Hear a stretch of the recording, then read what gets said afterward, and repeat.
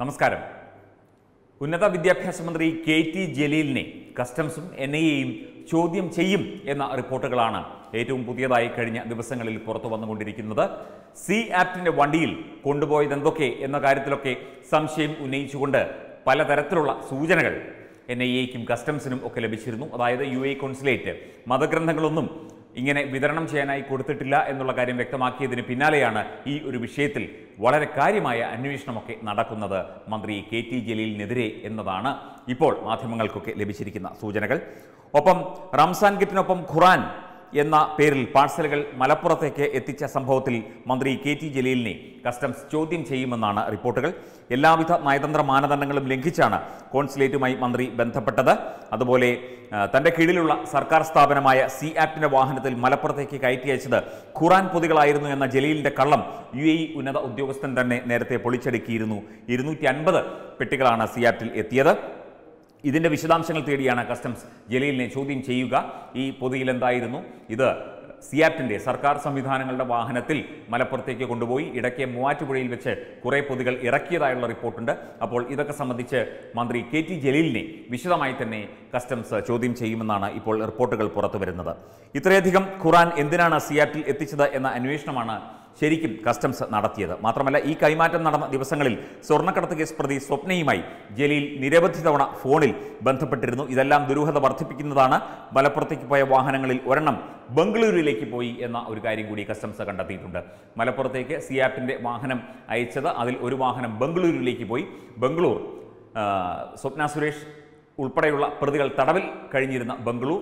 അതുപോലെ തന്നെ മുഖ്യമന്ത്രി പിണറായി വിജയന്റെ മകൾ വീണ തൈക്കണ്ടി ബംഗളൂരിലാണ് അവരുടെ സ്ഥാപനം ഉള്ളത്. അവരുടെ സ്ഥാപനത്തിന് വളരെ അടുത്തു നിന്നുള്ള ഒരു ഒരു ഹോട്ടലിൽ നിന്നാണ് സ്വപ്ന സുരേഷിനെയും അതുപോലെ തന്നെ സന്ദീപ് നായരെയും പിടിയിൽ എൻ ഐ എ പിടിച്ചത് എന്നുള്ള കാര്യം കൂടി ഇതിനോട് ചേർത്ത് വെക്കേണ്ടതുണ്ട്. അതുപോലെ ഈ മലപ്പുറത്തേക്ക് പോയ വാഹനങ്ങളിൽ ഒരെണ്ണം ബംഗളൂർക്ക് എന്തിനാണ് പോയത് എന്ന കാര്യവും അന്വേഷിക്കുന്നുണ്ട്. അതുപോലെ മറ്റൊരു രാജ്യത്തെ കോൺസുലേറ്റ് വഴി മതഗ്രന്ഥങ്ങൾ വിതരണം ചെയ്യുക എന്നത് യു എയുടെ നയമല്ല.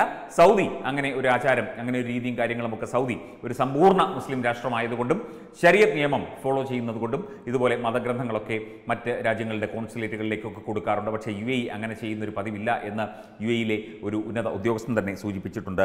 മതഗ്രന്ഥങ്ങളുടെ ഇറക്കുമതി നടന്നിട്ടില്ല എന്ന കസ്റ്റംസ് റിപ്പോർട്ടിലെ വാർത്ത വാസ്തവവിരുദ്ധവും തെറ്റിദ്ധാരണജനകവുമാണെന്നും നിയമ നടപടി സ്വീകരിക്കുമെന്നുമാണ് കെ ടി ജലീൽ ഇതിന് വിശദീകരണം നൽകിയത്. അപ്പോൾ കെ ടി ജലീലിന്റെ വിശദീകരണം ഒക്കെ തന്നെ ഇപ്പോൾ പച്ചക്കള്ളമാണെന്ന് തെളിഞ്ഞിരിക്കുകയാണ്. ഈ ഒരു വിഷയത്തിൽ കൂടുതൽ അന്വേഷണം. അതായത് ഇതുപോലെ സി ആപ്റ്റിന്റെ വാഹനത്തിൽ എന്താണ് കൊണ്ടുപോയത് എന്ന് അറിയാനുള്ള അന്വേഷണത്തിന്റെ ഭാഗമായിട്ടാണ് കെ ടി ജലീലിനെ ഇപ്പോൾ ചോദ്യം ചെയ്യും എന്ന റിപ്പോർട്ട് പുറത്ത് വരുന്നത്. ഒപ്പം തന്നെ ഈ സ്വപ്ന സുരേഷുമായി ബന്ധപ്പെട്ട ചില കാര്യങ്ങൾ കൂടി പുറത്തു വരുന്നുണ്ട്. സ്വപ്ന സുരേഷിന് സഹായം നൽകിയത് ആരൊക്കെ? കുറേ മാഡങ്ങളുടെ പേരും കഥയും ഒക്കെ തന്നെ പറഞ്ഞു കേട്ടിരുന്നു. പക്ഷേ ആരൊക്കെയാണ് ഈ മാഡം? എന്തൊക്കെയാണ്? കഴിഞ്ഞ ദിവസം തിരുവനന്തപുരത്ത് ഉന്നത ബന്ധങ്ങളുള്ള ഒരു മാഡത്തിന്റെ കഥയും പുറത്തു വന്നിരുന്നു.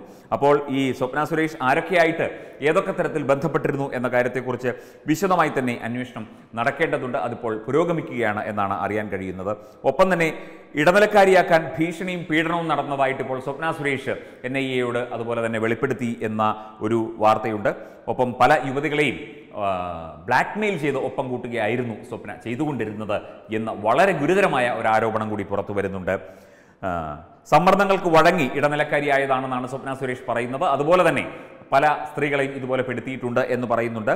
ഇതിപ്പോൾ ശാരീരിക പീഡനം ഏൽക്കേണ്ടി വന്നിട്ടുണ്ടെന്ന് ചോദ്യം ചെയ്യപ്പോൾ ചെയ്തപ്പോൾ സ്വപ്ന സമ്മതിച്ചു എന്ന തരത്തിൽ വാർത്തകളുണ്ട്. അതുപോലെ കേസുകളിൽ പ്രതികളായി എത്തിയ ചില യുവതികളെ ജാമ്യത്തിൽ ഇറക്കുകയും കേസിൽ നിന്ന് രക്ഷപ്പെടുത്തുകയും ചെയ്ത ശേഷം ഒപ്പം കൂട്ടുകയും ചെയ്യും. ഇങ്ങനെയുള്ള പരിപാടികളുണ്ട്. ഒപ്പം ശൃംഖലയിലെ മാഡങ്ങളായി വിവിധ കാര്യങ്ങൾക്കാണ് ഈ കാരിയർമാരെ ഈ സ്ത്രീകളെ ഉപയോഗിക്കുന്നത്. വിമാനത്താവളത്തിൽ ഒരു വർഷം മുമ്പ് നടന്ന കള്ളക്കടത്തിലെ പ്രതി സെറീന ഷാജിയെയും ഇടനിലക്കാരിയാക്കിയത് ഈ സംഘമാണ്. മുഖ്യ സൂത്രധാരൻ അഭിഭാഷകനായ ബിജു മനോഹരൻ എന്നയാളായിരുന്നു. ബിജു ഭാര്യ വിനീതയും ഇടനിലക്കാരിയാക്കി. ഭീഷണിപ്പെടുത്തിയാണ് തന്നെ ഒപ്പം കൂട്ടിയതെന്ന് അഭിഭാഷക കൂടിയായ വിനീത മൊഴി നൽകിയിരുന്നു.